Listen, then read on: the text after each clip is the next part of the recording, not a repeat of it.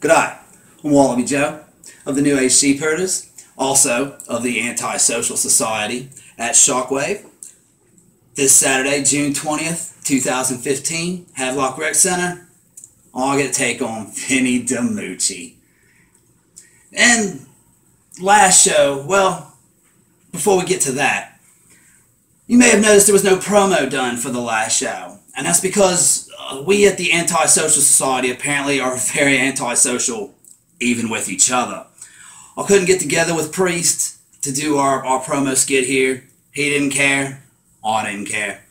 Anyway, addressing again last show. Unlike last show, You know, unlike unlike last show, you said this show. What you gotta do, Mike? You gotta do it. You gotta get in there and do it. You feel me, Mike? You gotta do it. Tell the people. apparently I'm supposed to do it. So what I'm going to do Do is I'm going to take on Vinnie Damoochie. And I've, I've had a few bouts with Vinnie Damoochie before.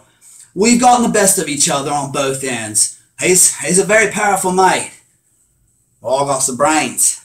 He might be Italian. I'm Australian. We'll outwit you, mate. And you know that from prior matches with me.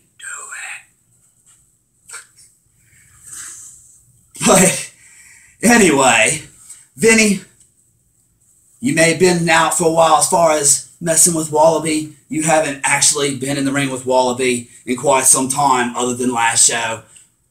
I'm talking one on one, mate. And Do it. even though last match, as the fans may have noticed, I hurt my right foot, Yeah. this time you're going out hurt. And that's a bloody oath. He's gonna do it. He believes in himself. Confidence, Mike. Speaking of doing, what will you be doing, Crowe? I'm gonna be doing it. I'm gonna beat everyone. I don't know what I'm gonna do. I'm gonna be there and I'm just gonna do it. And all I'm like, That's right. Do it! ah.